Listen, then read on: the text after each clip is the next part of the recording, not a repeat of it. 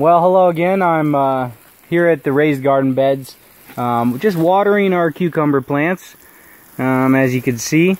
These uh, raised garden beds we built by hand. Uh, we just took some, uh, uh, we went down to the lumber mill and uh, picked up some of these boards that people did not want anymore. these are just, you know, the outsides of trees that they cut down. Uh, people in Brazil really don't like them, so they work perfect for us because you know they're nice and rustic, and we do love rustic. And then, as you can see, the the dirt actually is uh, basically composted uh, wood chips that were entirely too old for them, mixed with uh, cow poop and horse poop, goat poop and chicken poop, all types of different uh, organic manures mixed together, composted for a very long time and uh, just mixed in with uh, with the wood chip compost mixture. And we got dump truck load after dump truck truck load of it for about uh, $70 a dump truck load which was really nice.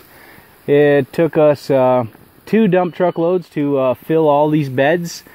These beds are uh, there's only three of them technically like two and a half. They're about oh I'd say a good 30 foot long and uh, anywhere between three to four foot deep. So it's nice, perfect level so you don't have to bend over when picking weeds or picking the harvest. Um, a couple things that I would like to say about this is uh, this is my uh, first time with uh, raised beds. These are pine wood raised beds, so from what I've heard that pine wood will only last about 10 years or so and that I should have used cedar, but you know, in all reality, 10 years is a long time and uh, you know I don't think uh, I made a bad decision because I got it for such a really cheap price. Uh, one thing I would I do wish that I could put in and I think I will put in is some type of automatic watering system.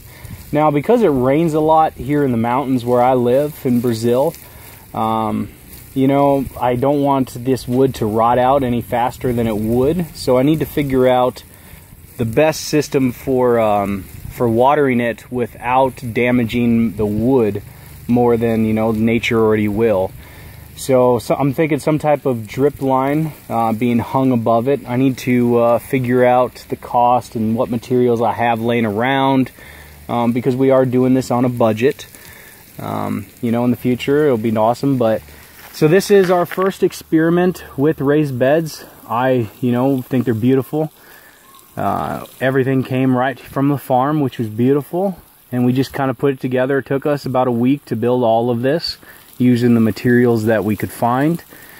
And if this thing goes well, I'm pretty sure we're going to build a lot more. I think I want about 10 more put up. But I need to figure out a better watering system because, you know, I'm a, I'm a pretty busy guy. I don't have time to be out here watering my gardens every day for two hours. Um, so I'm pretty sure I can figure something out and I will. And then I'll build a lot more. So I got cucumbers right here. I got some different lettuce up there. A whole bed of lettuce right here that's all babies. I got broccoli. I got some type of red salad. I got uh, green peppers and I got different teas towards the end of it. These were just experimenting with all the different things we can grow. And then, like I said, in about six months, to a year once things uh, normalize around here and I build more beds. I'm going to have one bed per each vegetable that we grow um, because Buscher's Farm is uh, selling our produce. We sell eggs, we sell meat, and we sell vegetables. 100% organic. I want to thank you for uh, liking this Facebook page, liking and subscribing to our YouTube channel.